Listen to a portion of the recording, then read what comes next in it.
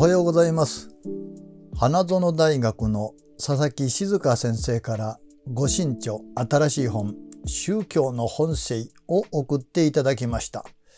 ありがたいことであります。宗教の本性。あ本性と読むんでしょうかしら。サブタイトルは誰が私を救うのかとこうなっております。そして帯には死にゆく自分を支えるのは神か仏か私自身か。私は無宗教と自負する日本人必属。仏教の第一人者による異色の宗教論とこう書かれております。帯の裏には原始仏教を題材にしてゴータマはいかにブッダとなったのか。宗派の教えに着目した大乗仏教に続く宗教講義第3弾。とこう書かれています。そしてその帯には全体の構成まで書かれています。プロローグ宗教とは何か。第1項多神教から始まった。第2項一神教二元論。そして仏教。第3項イデオロギーという名の宗教。第4項私が宗教と向き合う時。第5項自分で自分を救う教え。第6項宗教の知恵を磨くというものであります。ご丁寧なお手紙を添えてお送りくださって早速この読み進めています。まだ第3項までが終わったあたりちょうど半分ほどしか読んでいませんが失礼な表現でございますがこれが実に面白いのであります。こういう切り口、こういう角度から宗教というものを私は考えていませんでした。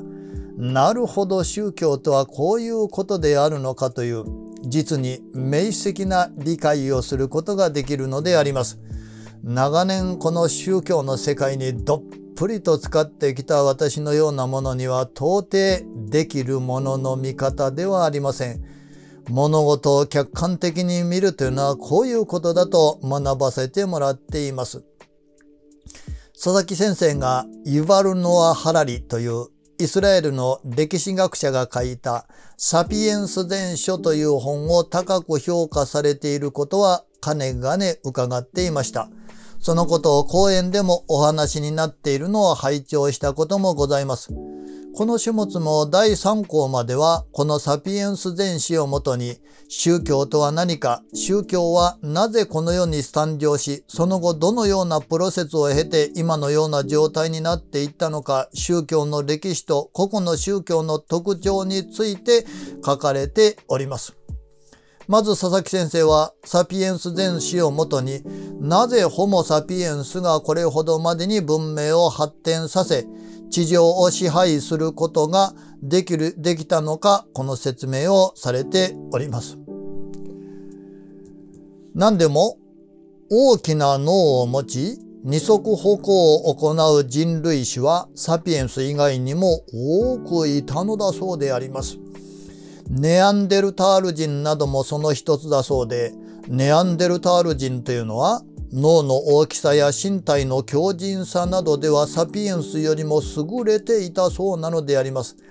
1対1で戦ったならば、ネアンデルタール人の方が強かったとこういうのです。サピエンスは貨幣、帝国、宗教という、ハラリさんの言葉によれば、実体を伴わない虚構、共通の神話を作り出したというのであります。そこから佐々木先生は、虚構を実体であるかのように頭の中で想定し、それを他者と共有できるようになると、同じ世界観、価値観を共通、共通に信じた人々の間にお互いに協力し合おうという意識が生まれ、集団での行動や作業が可能となると指摘をされているのであります。そしてハラリさんは、これこそがサピエンスの成功の鍵だった。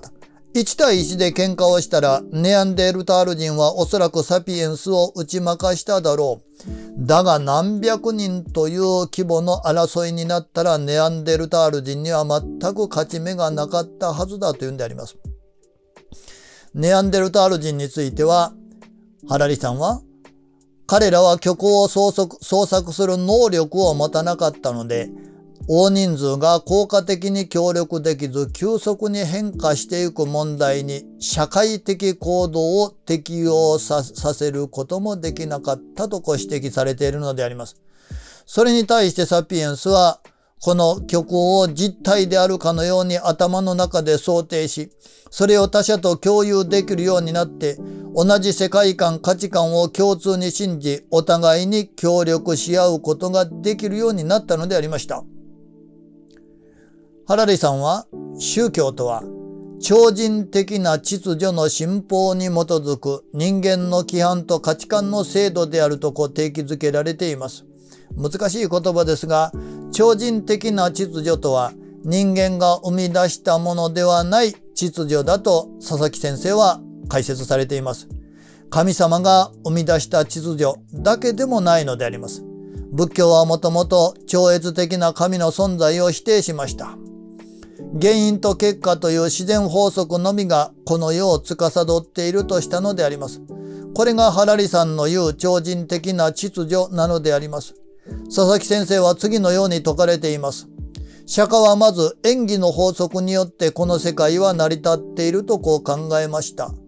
演技の法則では全ての事柄や現象は独立して存在しているのではなく原因があって初めて結果として現れると考えます。これは科学でいう因果率と同次元の原理なのでそこには当然のことながら絶対心や霊的な神秘性などといったものは一切介在しません。続けて釈迦は、すべての事柄や現象は演技の法則の中で一瞬だけ形として現れているに過ぎず、あらゆるものは常に移ろい変化し続けていると捉えました。私という存在も同様です。私とか私のものにも実体がなく、様々な関係性の中で一時的に存在しているだけで、永遠不滅のものではないと考えますと。そして最終的に釈迦は人間の苦しみの原因となっているのは欲望だとこう説くのでございます。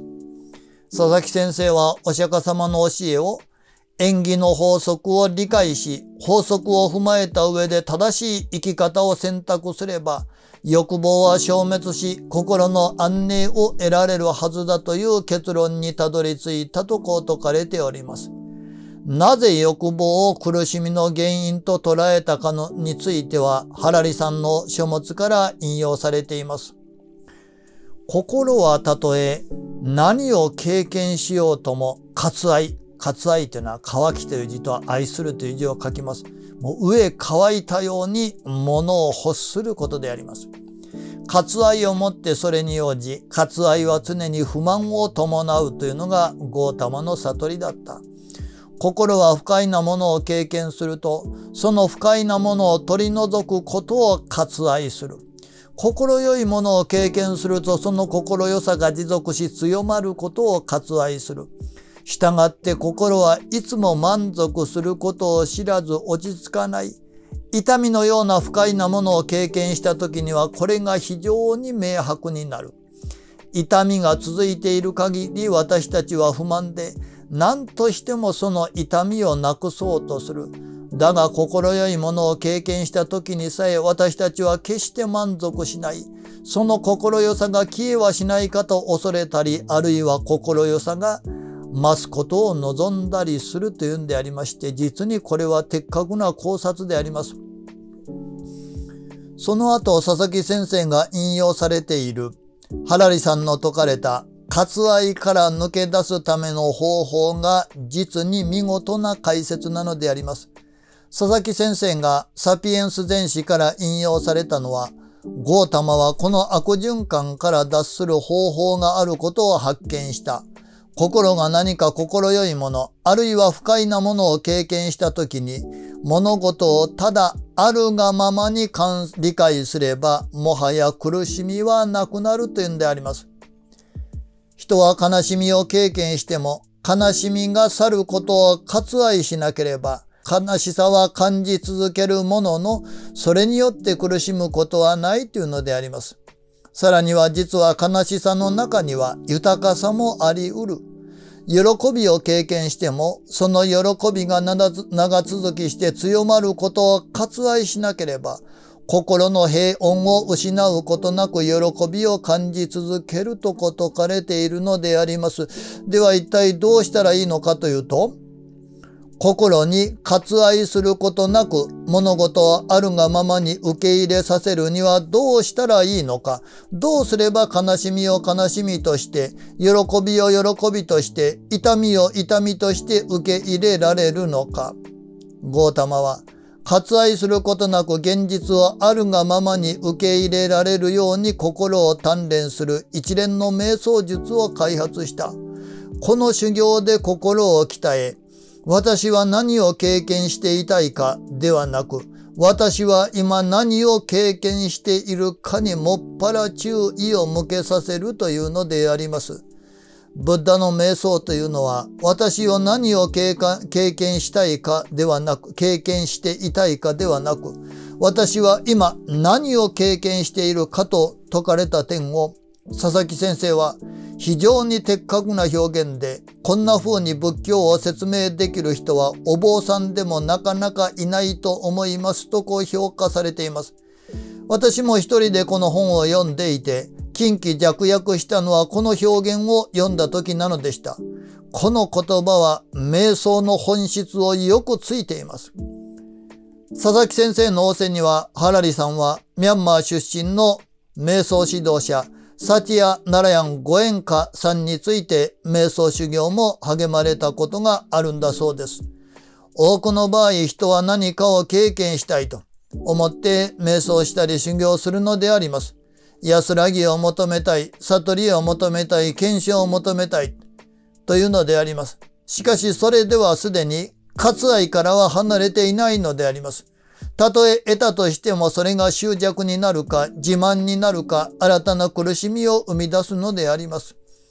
これはおそらくご縁家さんに学ばれたビパッサナー瞑想が元になっていると思いますが、善にも大いに通じます。何かを得ようとする限り安心はなく、ただいま経験していること、すなわち、ただいまの呼吸、ただいま座っていること、ただいま歩いていること、ただいまご飯を食べていること、ただいまお茶を食べていること、ただそれだけに徹するのであります。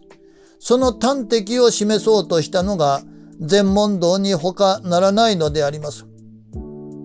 ハラリさんの実に的確な指摘をもとにして佐々木先生は、宗教とは死を見つめながら生きる宿命を背負った人間だけがかかる心の病気を治してくれる薬だとして、宗教とは何かを説き進めてくれているのでこうございます。まだまだ私は半分読んだところなので、これから後半を読むのが楽しみなのでございます。皆様にもお勧めいたします。では今日も呼吸と姿勢と呼吸を整えましょう。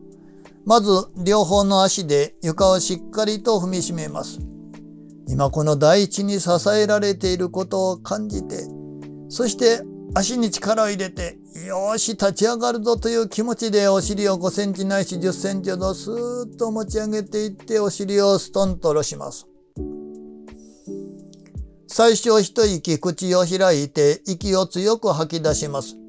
その時にはお腹の底の空気も胸に抱えている重い患い全部吐き出してしまうつもりで口を開いて強く息を吐き出します。はぁ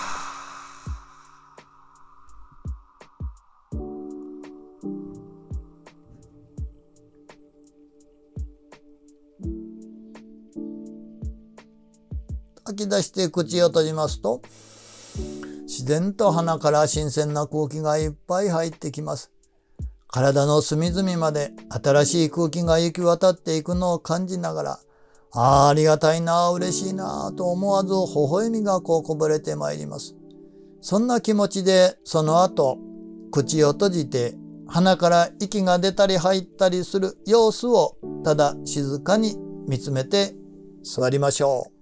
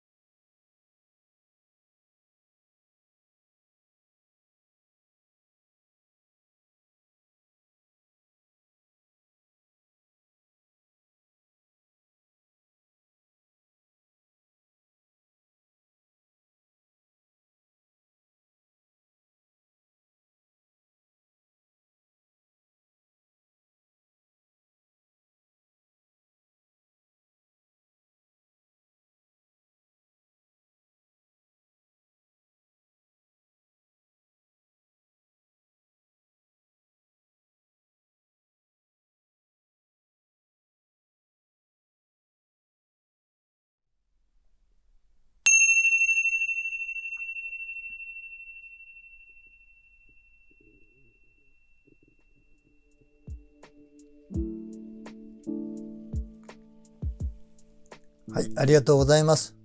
どうぞ今日も良い一日でありますことをお祈りしております。